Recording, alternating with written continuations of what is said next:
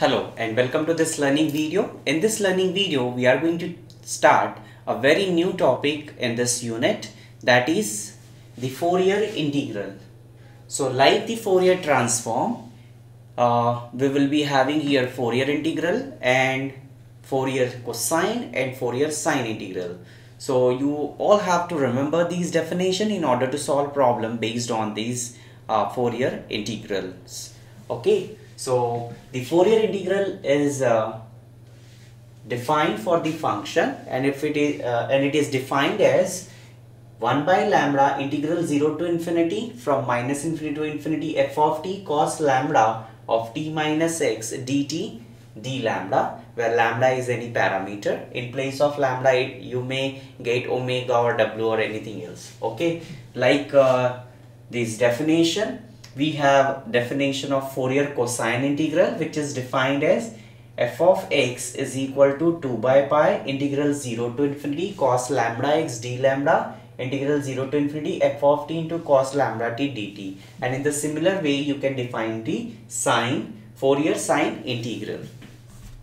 Okay now let us take this uh, problem. Uh, this problem says find uh, using the Fourier integral show that this is equal to pi by 2 e to the power minus x okay now as you can see there is nothing is there okay so I can make use of this definition or this definition. I am going to make use of this definition. Why? Because in the result itself it is given sine. Okay, so I am going to make use of the Fourier sine integral.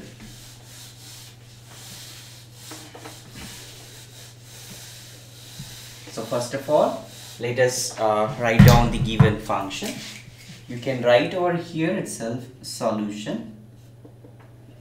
Let f of x is equal to what is my f of x? This.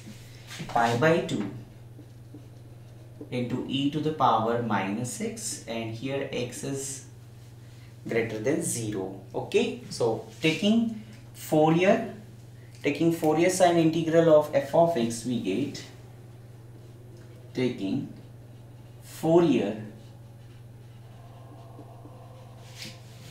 sine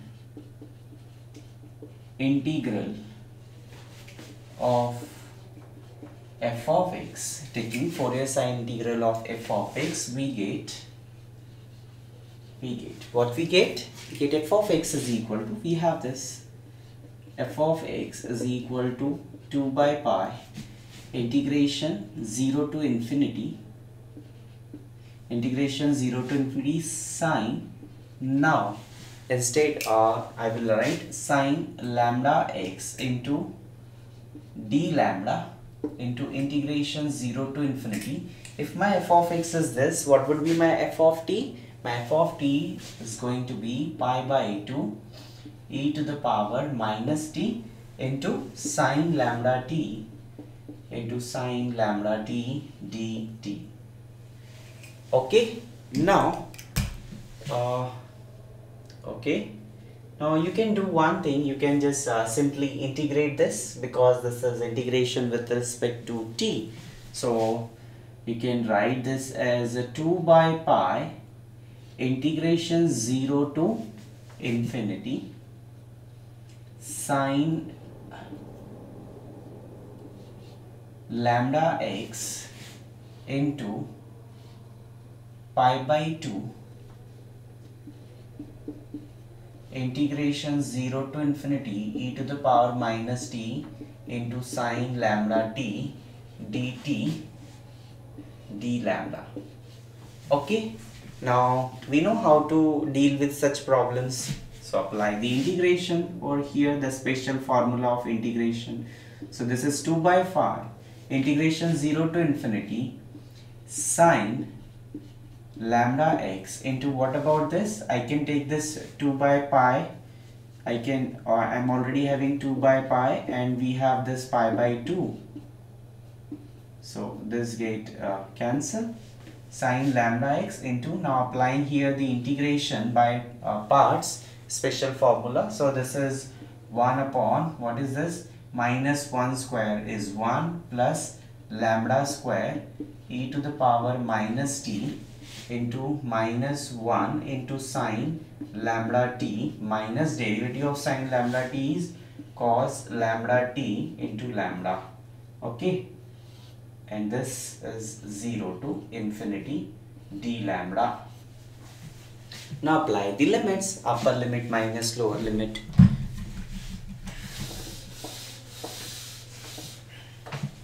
Now I have f of x. What is my f of x? I can write it here pi by 2 into e to the power minus x. What is this? This is integration 0 to infinity sine lambda x into what is it this is uh, 1 upon 1 plus lambda square now this is integration with respect to t. So you just have to substitute t is equal to infinity and t equal to 0. The moment you substitute t equal to minus infinity, so t minus e to the power minus infinity is 0. So 0 into anything 0 minus put t equal to 0. So it is e to the power 0 minus 1 sine 0 minus lambda cos 0. Okay. And this is d lambda. Simple. Now this is integration 0 to infinity sine lambda x into 1 upon 1 plus lambda square. E to the power 0 is 1 sine 0 is 0 cos 0 is 1 so this is minus lambda and this is minus 1 plus. So I am getting this lambda upon this d lambda simple. Now look at the answer. We have the right hand side. To get this left hand side what I need to do is uh, I just need to replace uh, this lambda by w right? And that we can do with the help of that we can do with the help of what? The property of definite integration. Okay? So can write uh, is as pi by 2 e to the power minus x equal to integration 0 to infinity. This is sine because this is in terms of lambda. So this is uh, omega x okay into omega upon 1 plus omega square d omega. That is this. Simple. And if you are not getting this actually we applied here the property of definite integration. If you don't get it you can write put lambda is equal to w. This implies d lambda equal to dw limits are unchanged. And then this and this implies this. Okay? So i hope this uh, problem is clear to you you just need to remember only the uh, definition of Fourier integral, Fourier sine and cosine integral. So I hope this is clear to you. In the upcoming lectures, we'll take more problems on this uh, Fourier integral. So till then, enjoy learning mathematics and have a good day. Thank you.